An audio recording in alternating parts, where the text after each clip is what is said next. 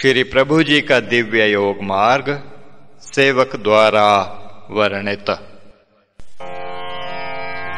मंगल भवन अमंगल हारी। श्री राम मुलख प्रभु जी जग सुखकारी साधक जन मैं करूं बखान। प्रभु जी के उपदेश महान। उनका पालन जो कर पावे जग में धर्मी पुरुष कहावे। एक अहिंसा। प्रभु कहते पर हित कर पावो तुम न किसी से द्रोह कमावो। सबका सोचो हित ही मीत। जीव चराचर से हो प्रीत। मुख जब खोलो, मीठा बोलो। बोलो पाछे पहले तोलो। निज हाथों से नहीं दुखावो। निज पाओ से नहीं सतावो। दांतों से ना काटो मीत। दुखी करो ना किसी का चीत। अनमन धन से यही कमावो। जीव चराचर सुखी बनावो। जीव चराचर हो सुखी, योगी जन से मीत यह सीख प्रभु देव की, यही धर्म की रीत। दो, सत्य। सत्य बराबर धर्म नहीं। झूठ बराबर पाप। प्रभु बताया धर्म यह। आ जगत में आप। मन वचन और कर्म में अंतर रहे नालेश ऐसे सरल व्यवहार से धार्मिक बने विशेष। तीन, अस्तेय। छिप छिप कर जो काम करे और छिपावे बात अथवा पर धन जो हरे धार्मिक जन नातात पर धन को जो हरत जन, कथें जिसे सब चोर, मिले न उसको सुख कभी, गहे नरक काठोर प्रभु जी का उपदेश यहाँ तात अपनी रोजी आप करो। इस जैसी न बात। एक भक्त तब बात उच्चारी नाथ निवारो शंका भारी। हम चोर को किमि पहचाने? स्तेन कौन हम कैसे जाने? सेवक ने तब की न बखान। मित्र मेरे ले वो जान। प्रश्न तुम्हारा है बहु ठीक। व्यापक चोरी की है लीक। चोरी ने है सबन दबाया। बचा वही जिसे गुरु बचाया। गुरु भी इससे बचना पाए। किस लेखे हम जग को लाए? गुरुओं को प्रभु करें सतर्क। कर्तव्य में जिमिना लावें फ़र्क।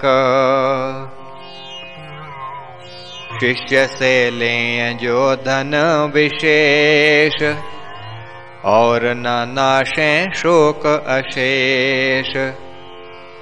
निंदा के वे गुरु अधिकारी उनको जान चोर हैं भारी।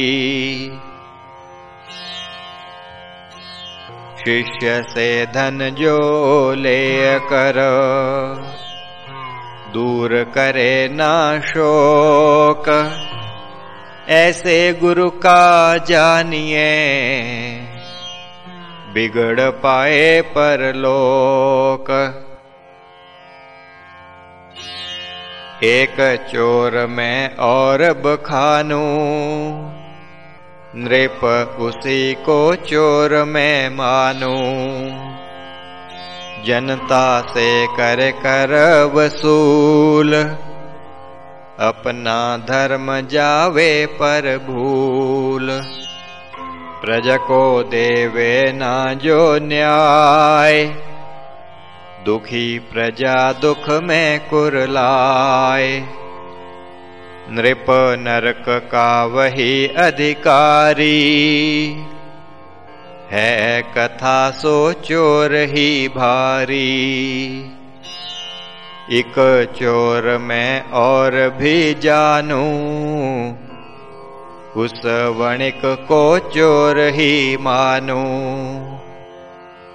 उचित दाम जो लेकर मीत ठगे गाहक को नाना रीत।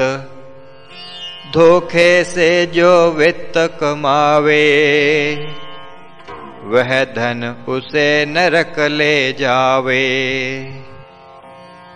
प्रभु की सीख है मेरे मीत। रहे सबन का धर्म में चीत। बिना धर्म के नहीं मिले। जग में सुख का सार, परलोक में जाय कर। अधर्मी हो खवार। महाप्रभु की सीख यहाँ। प्रभु जी दीनी आए। सदगुरु स्वामी मुलख से। मैं सुनी चितलाय चार ब्रह्मचर्य। ब्रह्मचर्य का नेम भी प्रभु जी की न बखान मन विषयों से रोक कर स्मरण करो भगवान।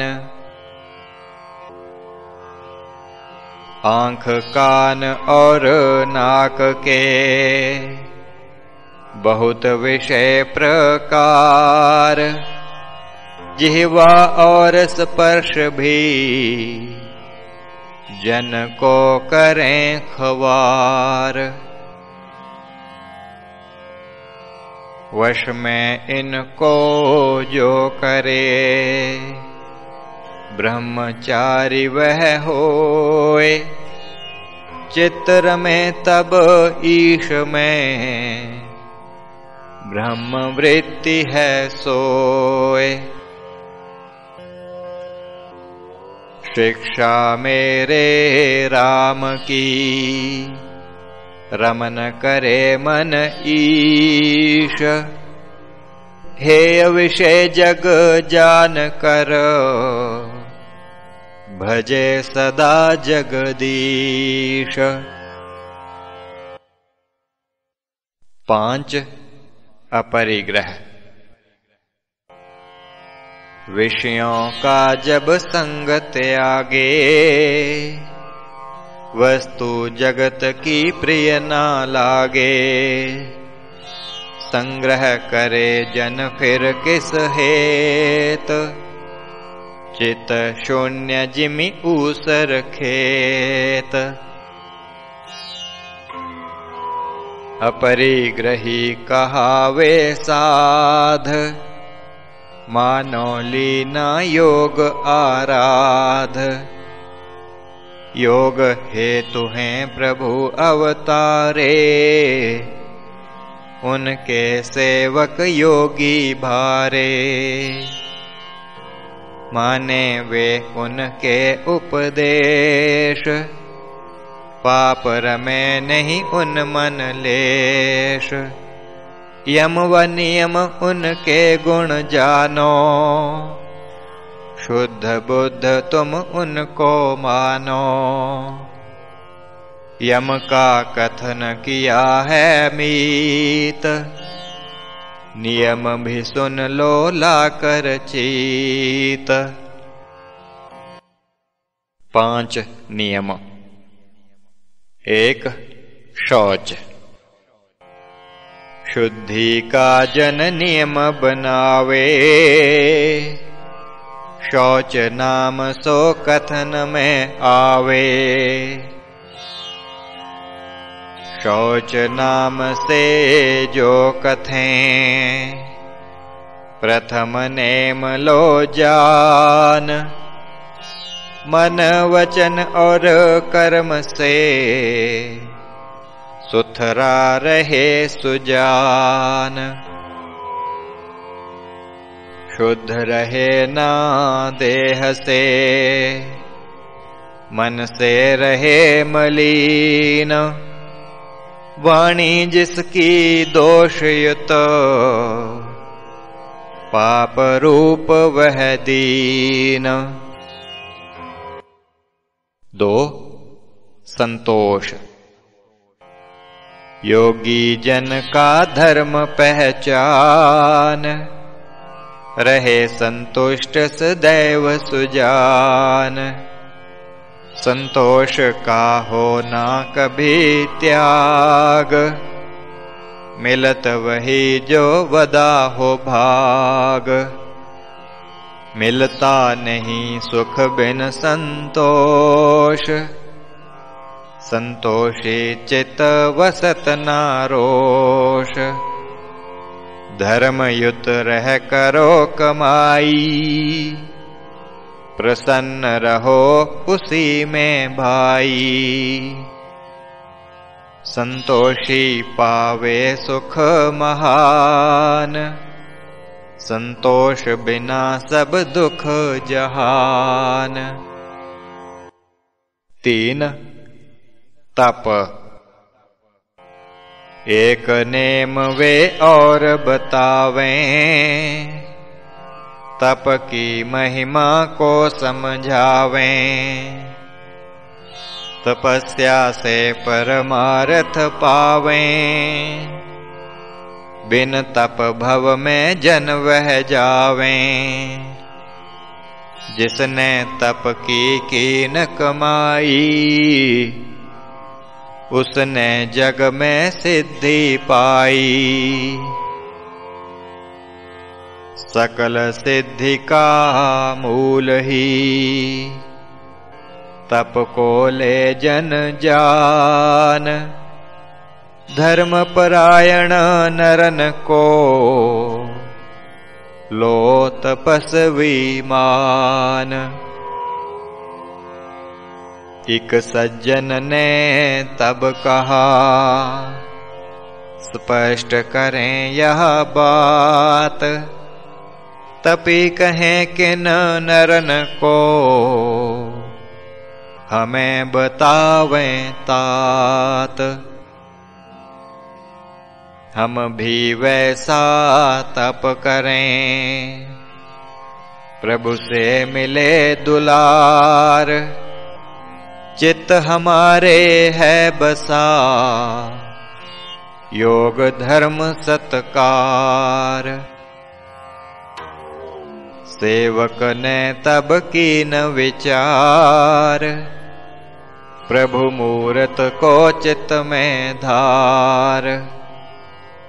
और कहा, सुनिए मम मीत। ईश्वर को धर करके चीत। कर्तव्य कर्म करें मन लाए। यही तपस्या ठीक कहाए। व्यर्थ में तन मन जो दुखाते। तप का फल कभी नहीं पाते। तप तो सिद्धियों का है मूल। गुरुमुख समझे यही असूल। मनमानी जो जन कर पाए, और देह को व्यर्थ दुखाए। अहम भाव में रह कर चूर। रहें सिद्धि से कोसों दूर। तप हो वह जो जनहित मीत। राग द्वेष से विरहित चीत। ऐसा तप जो जन करे। मान गुरु उपदेश। उसको योगी जानिए, उसके मिटे कलेश। पाँच, स्वाध्याय और श्री योग महादिव्य रामायण का परिचय। एक बात अब कहूं विशेष। प्रभु जी का यह है उपदेश। नित्य पढ़े जन शास्त्र मीत अथवा उन्हें सुने लाचित। मनन करे चित्त में उपदेश विसरे नहीं उनको वहलेश। जीवन में उनको ले ढाल। निज आचार परखे सब काल। सद आचारी योगी जानो। प्रभु की शिक्षा यह सब मानो सुनकर एक भक्त कह पाया नाथ बहु उपदेश है भाया। एक बात का करें बखान ग्रंथ हम कौन पढ़ें भगवान? जिस ग्रंथ का नाम बतावें नित्य वही हम पढ़ें सुनावें।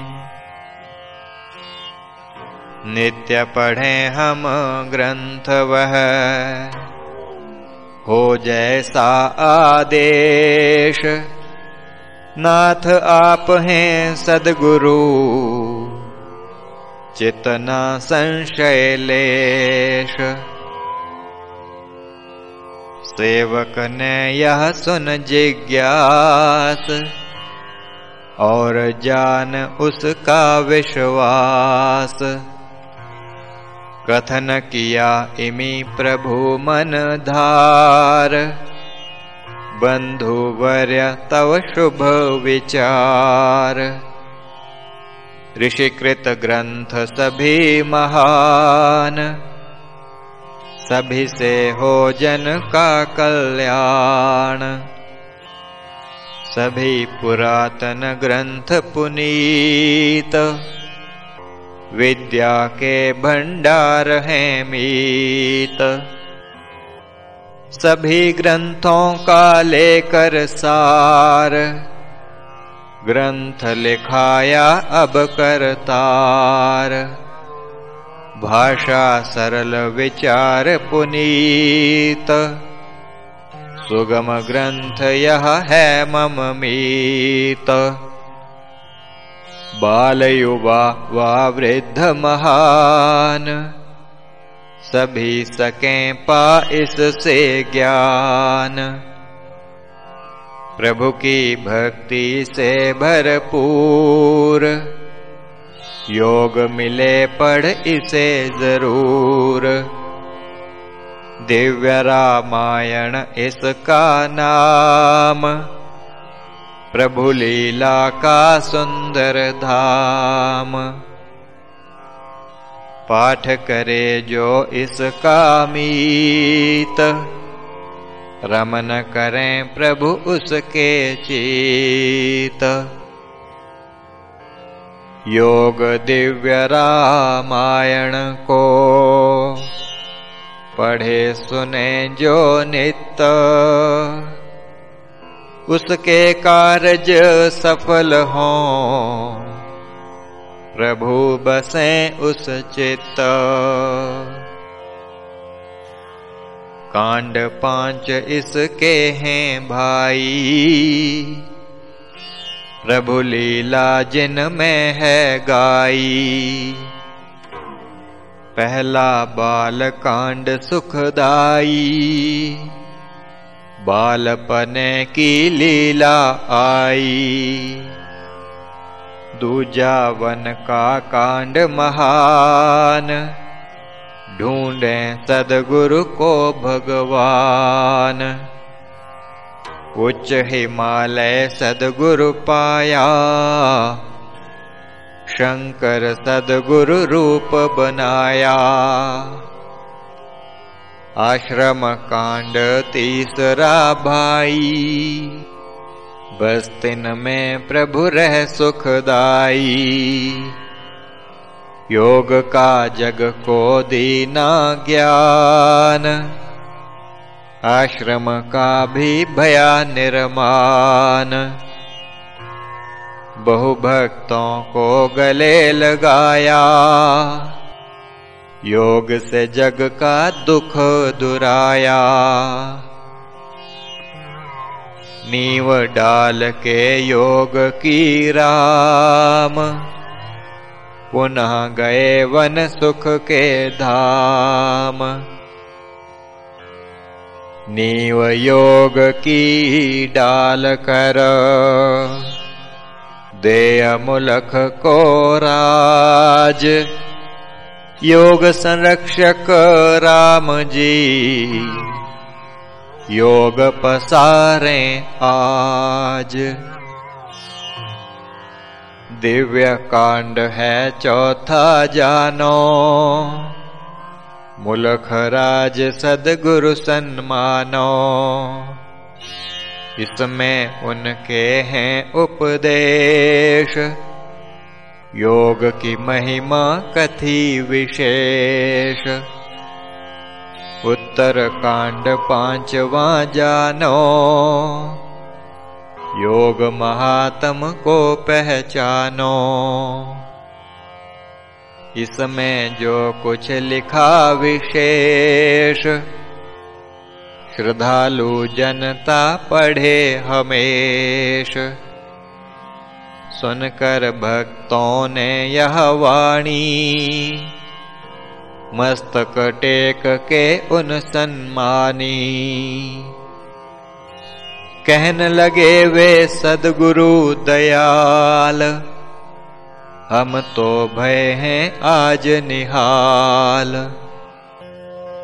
ग्रंथ मिला हमको अब ऐसा। ढूंढ रहे बहुकाल से जैसा। प्रभु रूप यह ग्रंथ है पाया। भई आपकी बहु यह दाया नित्य करें स्वाध्याय नाथ। रहे आपकी दया का हाथ। दया आपकी नित रहे। पढ़ें सुनेंगे ग्रंथ। सन्मार्ग का दर्श हो। मिले योग का पंथ। सेवक स्वन भक्तों की वाणी। दयानाथ की मन में जानी। और कही फिर आगे बात। ध्यान से श्रवण करो अब तात। और क्या प्रभु के उपदेश? स्मरण रहे जो हमें हमेश। पांच ईश्वर प्रणिधान। प्रभु का यह जग को संदेश। भूले नहीं हम प्रभु को लेश भजें सदा चित में भगवान। भजन करे सो हो इंसान। बंदा बंदगी करे हमेश। भूले ना कभी यह उपदेश। कण कण में ईश्वर का वास देह हमारा ईश आवास। फिर क्यों ईश्वर को ना देखें? तन में क्यों ना प्रभु को पेखें? राम रूप एक लाल है, सभी घटों के माही। दिव चक्षु से देख लो। बाहर भट को नाही। निज तन में जो देखते, प्रभु का दिव स्वरूप योग मार्ग पर वे लगे, प्रभु की सीख अनूप। नित आसन में बैठ कर। अंतर ध्यान। योग मार्ग पर वह लगे। दिया प्रभु यह ज्ञान। दिया प्रभु यह ज्ञान है। सकल विश्व के हेत शूरवीर ही धर्म के जूझेगा इस खेत। यह मग है ना कायर का विरला वीर महान। मारे काम क्रोध को, लोभ मोह अभिमान। भक्तों ने जब सुन यह पाया, दृढ़ निश्चय तब मन में आया। कमर बाँध हम करेंगे योग, त्याग करें दुखदायक भोग। वीर योगी हम बन दिखावें कायरता को दूर भगावें। भक्त कहें तब हे महाराज धार ली ना हम निश्चय आज। प्रभु उपदेश सुन कर के नाथ योग करें हम सब एक साथ साधन का हमें दें उपदेश जैसा है प्रभु का आदेश। सुनकर भक्तन की जिज्ञास कहा सेवक है प्रभु के दास। जिस मन प्रभु की भक्ति निशेष कर सके वही योग विशेष। प्रभु भक्त सभी आप हैं। प्रभु चरणी विश्वास। योग साधन में आस्था। कहूँ योग अब खास श्री प्रभु राम लाल जी की जय शरणम। श्री सदगुरुदेव जी की जय शरणम।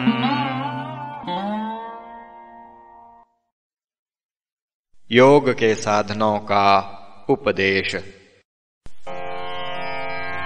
मंगल भवन अमंगल हारी श्री राम मुलख प्रभु जी जग सुखकारी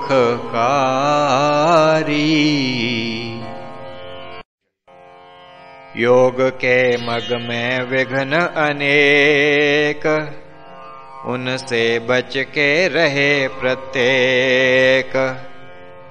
योग के विघ्न निवारण हेत साधक राखे देह सचेत। तन के रोग विघ्न बहुमानो उस हेत हठ योग सन्मानो। षटकर्मों का हो अभ्यास।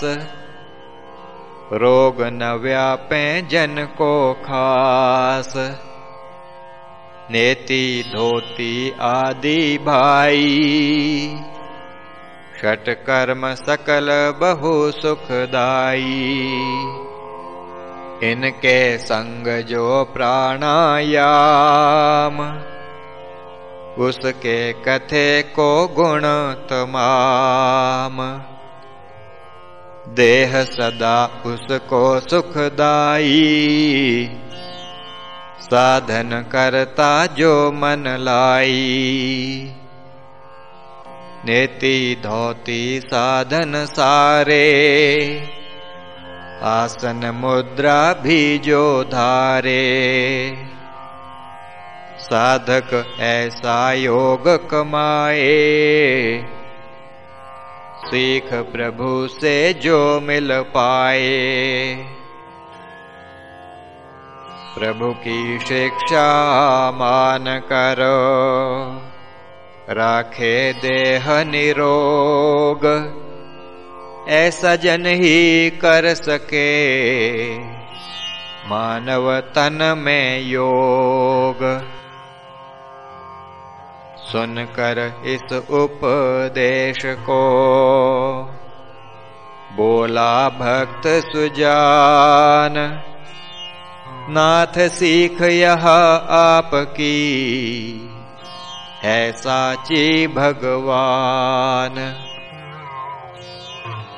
तन रोगी जिसका भय, क्या सके कर काम। तन की चिंता में रहे, मिले न पल विश्राम।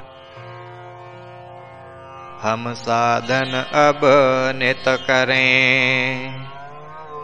राखें स्वस्थ शरीर और चलें उपदेश पर। दूर भय भव भीर।